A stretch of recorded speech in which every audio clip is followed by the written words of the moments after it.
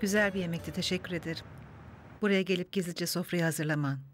Böyle bir sürpriz yapman. İstemeden seni korkutmam. seni o kadar özledim ki. Ethem lütfen. Bu gecenin böyle bitmesine izin vermeyeceksin değil mi? Saymanma söyleyeyim bize kahve getirsin.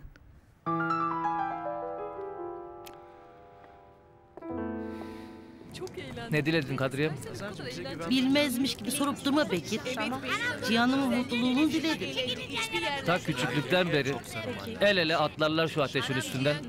Eşek kadar oldular hala. Ah, Cihan'ımla hasreti baş gözetme zamanı geldi geçti bile. Yakında doğuma kaçacaklar. Kadriye. Bak ne diyor. Gidelim isteyelim hasreti. Bir düğün yapalım dosta düşmana karşı. Üç gün üç gece. Ben saçayım böyle paraları tek tek. Yaşa Bekir be.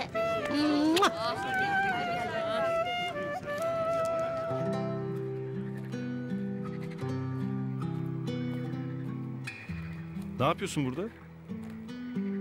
Hiç. Oturuyorum. Bana daha çok birilerini pataklıyorsun gibi geldi. Kim? Ben. Hı. Kimi pataklıyorum ki? Bilmem. Kafandan geçen birilerini. Onlara kızıp duruyorsun. O öyle yapmasaydı, bu bunu demeseydi. Dışarıdan belli mi oluyor bu? Hı hı. Vücut dili. Bazen sözcükler kadar ele verir her şeyi.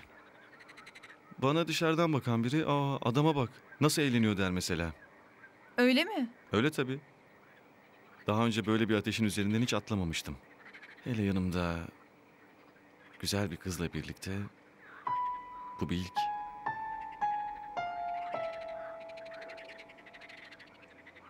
Ne demek biliyor musun peki? Ateşten atlama geleneğinin temelinde Ateşten kiminle atlarsan gönlün onda demektir. Herkese şunu söylersin. Biz münasip bir çiftiz.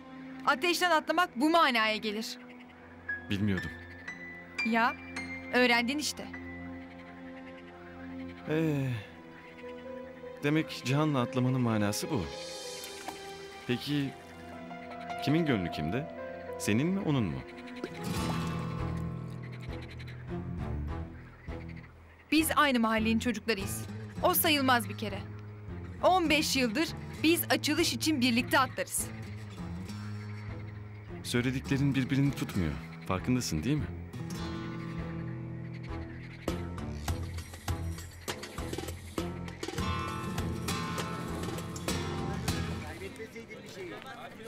Ya ben biraz çalı çırpı toplayayım. Bu ateş söndü sönecek. Aman babam kurban olayım sen otur ben toplarım çalıyı çırpıyı. Kadir, Kadir, Yok yok yok yok. Kadir. Kimseyi sebeplendirmem. Ben toplarım. E biraz sevap kazanalım be. Kemanınla mı? Anladım.